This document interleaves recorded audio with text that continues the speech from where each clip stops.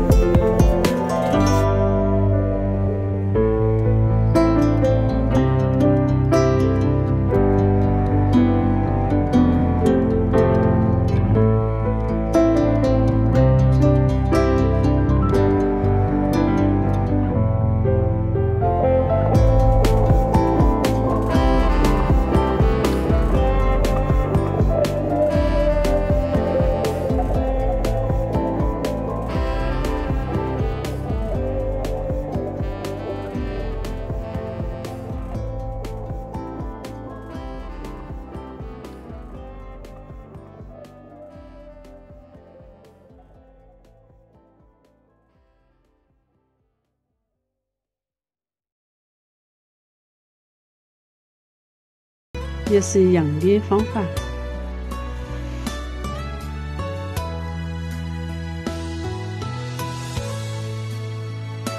看还是比较完整，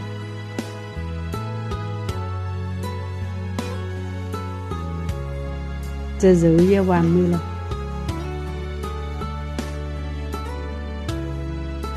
我觉得是在做一件无聊的事。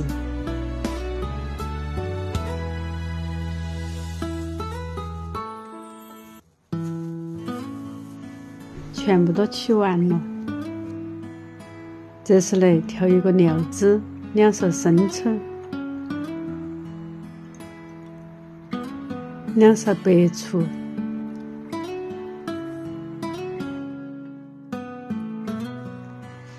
一小勺盐，白糖，味精，一勺花椒油。两勺红油、蚝油，一点清水，搅拌均匀。按照我这个比例调味很合适。倒入蒜末，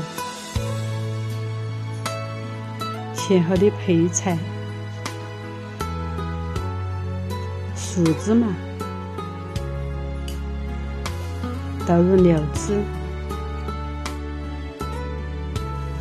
这样拌匀，不用腌制，直接吃都入味了。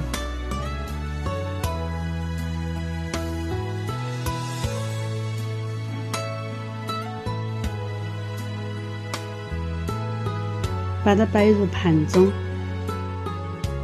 一道非常好吃、酸辣开胃的无骨鸡爪就做好了。